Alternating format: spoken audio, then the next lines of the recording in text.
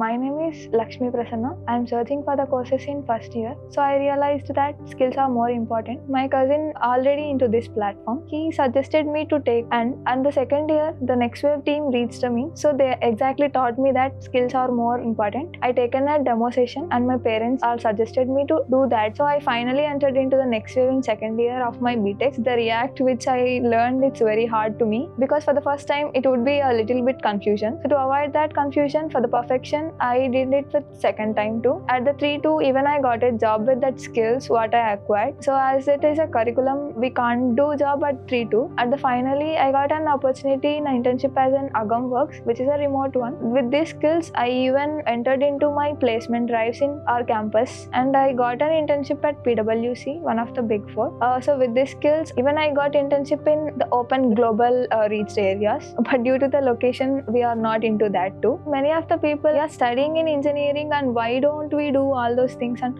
is it necessary to do these things? So my answer is I am still in fourth year. I built that skills slowly from the second year onwards, which is not a burden to me as I am just taking one or two hours in a day. Where I started with HTML, CSS, Python. It helped me to get multiple opportunities, and after that, I realized to speed up my journey with my free time too. While doing the JavaScript, it is very interesting, and when you are entering into the Node, which is a backend framework, I loved it very much. Even when I stopped somewhere, my success coaches will encourage me to do that things. In Feb 2025, I got an internship in PwC as an internship, and my practice is ABAP SAP. And this is possible to me by acquiring the skills from NxtWave. Thank you for the NxtWave team.